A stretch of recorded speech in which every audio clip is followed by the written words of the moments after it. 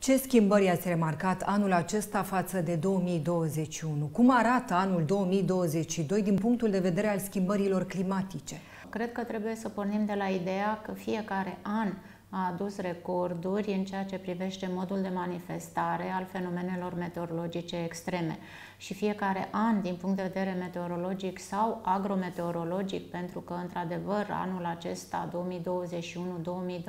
Uh,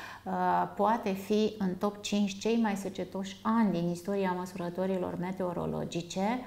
uh, a adus noi recorduri în ceea ce privește modul de manifestare. Uh, dacă vorbim de perioada în care ne aflăm, sezonul de vară, deja luna iunie, prima lună din vara 2022, a adus al doilea cod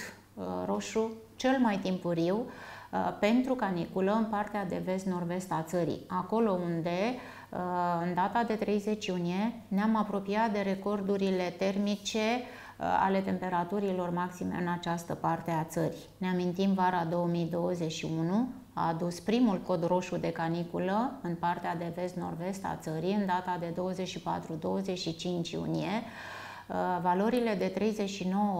39-40 de grade Celsius înregistrate în această perioadă a anului, reprezentând recorduri ale valorilor maxime pentru această parte a țării. Iată că nici anul acesta nu a făcut excepție. În 30 iunie am avut cod roșu de caniculă pentru șase județe în partea de vest-nord-vest a țării. 1 iulie, luna lui Cuptor, a debutat de asemenea cu uh, cod roșu pentru aceste zone. Val de căldură persistent, instalat încă din 29 iunie până în data de 5 iulie, când în foarte multe zile consecutive observăm, în aproape o săptămână, temperaturile au depășit pragul unei zile de caniculă pe fondul um, unei secete pedologice de asemenea prelungite. Dacă analizăm anul agricol curent, 1 septembrie 2021, iată, 11 iulie 2022, putem să considerăm că din cele 10 luni și iată o decadă, doar în două luni în acest an agricol precipitațiile s-au situat peste normele climatologice, decembrie și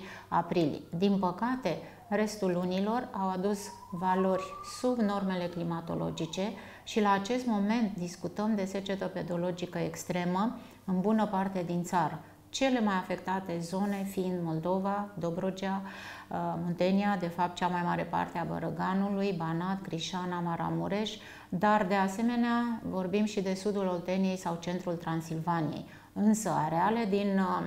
uh, Moldova, din Dobrogea și din Bărăgan, din zona Bărăganului, centrul Munteniei,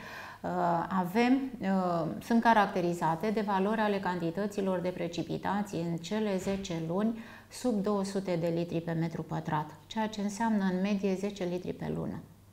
Vara acestui an, vara lui 2022, credeți că poate deveni cea mai călduroasă din istoria României?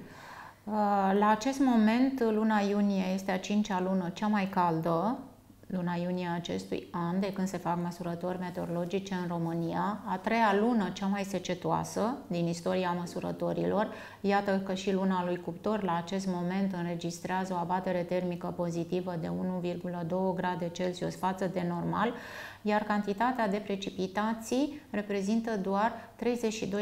32% din cât ar fi normal. Așa cum în luna iunie Uh, cea mai ploioasă lună tradițional a verii și anului în țara noastră a înregistrat doar o cantitate de 45% din ceea ce ar fi normal. Însă, pentru zona Dobrogei, mă repet, Moldova și Muntenia, precipitațiile au reprezentat chiar valori de până la 20-25% din norma lunii iunie. Când ar fi trebuit să avem în mod tradițional o lună iunie ploioasă, uh, iată că anul acesta a confirmat faptul că frecvența anilor secetoși în țara noastră, începând din 1901 și până în prezent, ne arată în mod evident ce înseamnă efectul schimbărilor climatice prin alternanțe de ani secetoși, uh, cu perioade în care, într-adevăr, cantitățile de precipitații pe secvențe scurte de timp pot genera situații de natură hidrologică. Vă pot, putem confirma din statistica fiecărui deceniu din 1901 și până în prezent că dacă în intervalul 1901-2000, în medie pe deceniu, înregistram 1 până la cel mult 3 ani secetoși, deceniul 2001-2010, 2011-2020 înregistrează deja, deja 5 ani secetoși, iar deceniul actual,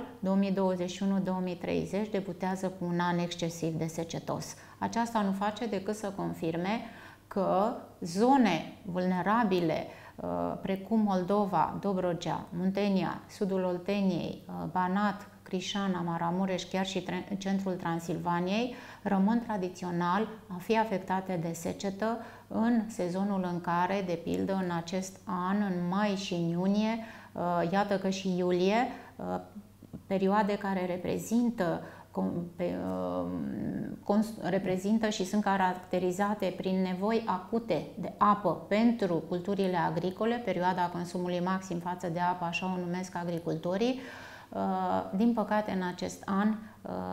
a fost unul uh, al extremelor. Dar, așa cum spuneam, și fenomenele meteorologice extreme, caracteristice sezonului de vară, nu au lipsit, pentru că vorbim de uh, condiții favorabile atunci când o cantitate mai mare de umezeală în atmosfera asociată și cu uh, căldură mai multă în sistemul climatic generează fenomene meteorologice specifice anotimpului de vară, averse torențiale, Um,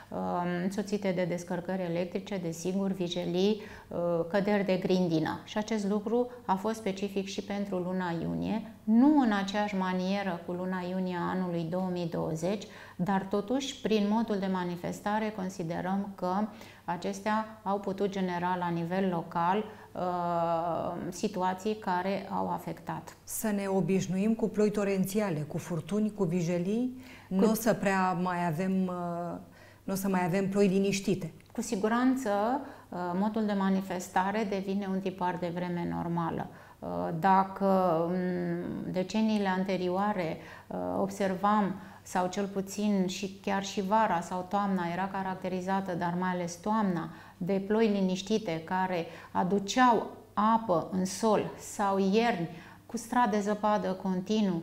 care permiteau acumularea apei în sol, pentru că perioada noiembrie-martie, agricultorii o numesc perioada de acumulare a apei în sol. Observăm iernile cele mai recente, începând din 2006 și până în prezent, au fost cele mai călduroase și, din păcate, cu cantități uh, mai puține de precipitații, așa cum s-a întâmplat de altfel și în acest an agricol. După o toamnă secetoasă, o iarnă blândă, Uh, și uh, secetoasă. Iată o primăvară cu o lună mai care nu a respectat zicala plouă în mai, avem mălai, din păcate, și iată prima lună de vară de asemenea foarte secetoasă și nici luna uh, lui cuptor